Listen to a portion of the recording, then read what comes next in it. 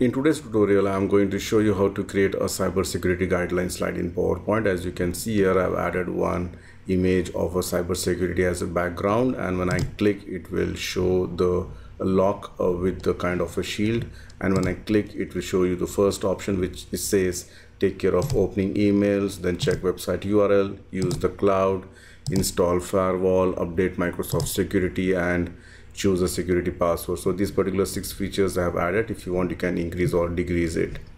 And if you have not subscribed to my channel PowerPoint University please subscribe and make sure to enable the bell notification icon. You can join my telegram group with the help of this link. And if you like to support my channel you can do it through PayPal or Patreon. So let's start the tutorial. Add a new slide go to view enable the guides go to insert shapes. From the basic shapes I'm going to choose this uh, triangle draw or triangle in the center shape outline. You can make it no outline then align center align middle and then I'm going to rotate it flip vertical okay? Then right mouse click edit points and I'm just going to drag this from one side. You can see here like this. And from here I'm going to exactly in the center. I'm bringing the mouse and right mouse click and say add point point sorry. And then I'm just going to drag it up. Alright. You can see here I'm dragging up. And then I'm just making it something like this. And here also let me just make like this. So I end up getting a shape which looks like this. So don't worry about the left side. So left side I'm going to cut that one for that. Go to insert shapes select the rectangle draw the rectangle covering the the left part then select this shape. Hold the shift key select the blue one. Merge shape and subtract. Now I'm going to duplicate this by pressing ctrl D. And then I'm going to make it a flip horizontal and attach it. And make sure it is properly attached. And select both the shapes merge shapes. I'm going to make it as a union. And then I'm going to make it as an outline. Okay any color later on we can change and shape fill. I'm going to make it as a no fill. So I end up getting a shape which looks something like this. Alright. Now the next thing which I'm going to do is go to insert shapes. I'm going to select a rectangle draw the rectangle covering the whole slide. Shape outline make it no outline. Right mouse click go to the format shape and select the picture or texture fill. Here I have already selected this image.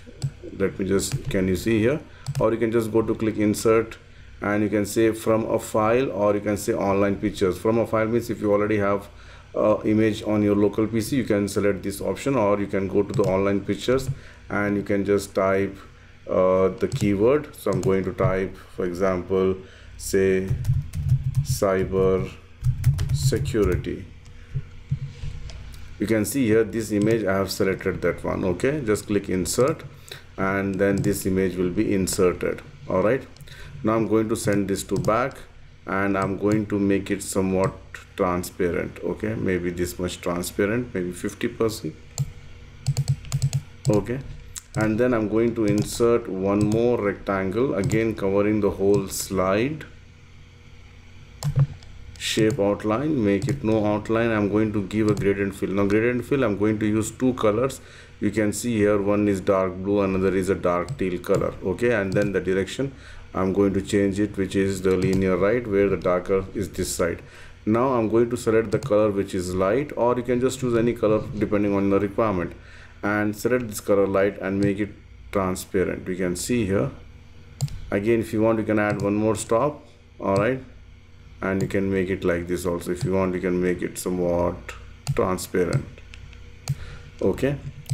So we got this per thing. Now i'm going to send this also to back. Now this one i'm going to give a gradient fill for this line. So instead of fill go to the line and select the gradient line. And here i'm going to give uh, three different colors. One color i'm going to give it as a white. Okay? The other color i'm going to give as a, a purple okay and then i can just change the direction the way i want. Okay so here I would like to have like this and here I'm going to make it a blue. Alright so you can see here I've got white purple and blue. And then I'm going to increase the width of this one. You can see here I've increased the width to maybe 5.5 and then in center you can go to icons.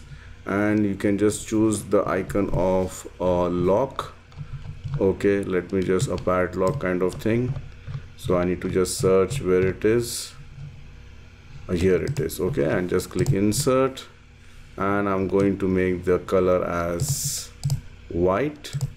Alright again if you want you can increase the size now the next thing is I'm just I want to give some glow effect here. So for go to insert shapes I'm going to give a oval shape draw a oval shape shape outline no outline shape. Fill I'm going to give a kind of a blue color turquoise color. And go to the effects. Under soft edges increase the size here. You can see here.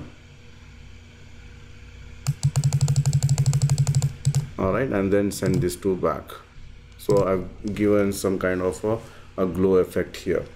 So once this is done now we need to add the options. You can add the title here. I can just say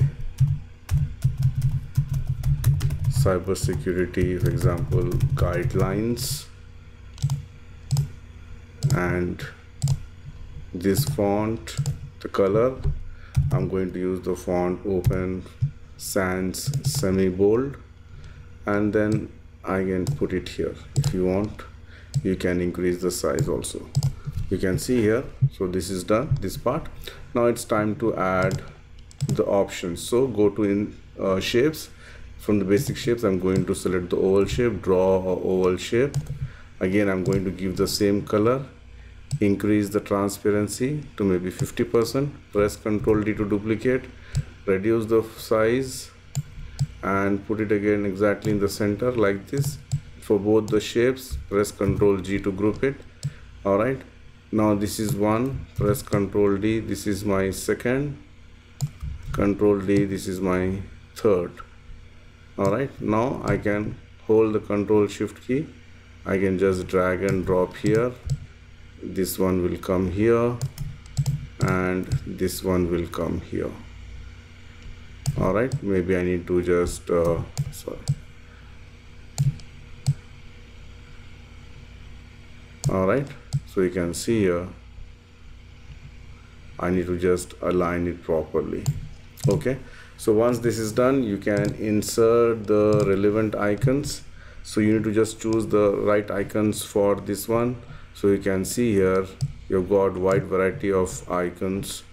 Maybe I can just choose some nice icons but that will take a lot of time for me so I, I can use this flame as a firewall and I can use uh, this one I can use maybe so many icons uh, you can just uh, search it. Maybe I'm going to use this icon. And any icons which we are missing we can just again go and search and download it okay? Maybe I need a mail icon with an attachment. I need uh, this uh, particular icon also. And let me just click on insert. Sorry control Z. Bring it here. Make the height and width as 0.5 and I'm going to give as a white color. And then you can just maybe this is for the you can see here this is for the firewall this is for the email this is for the update this is for the password.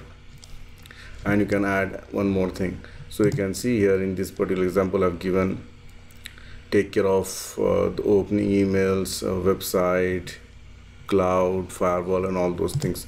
So all those information you can just type it here.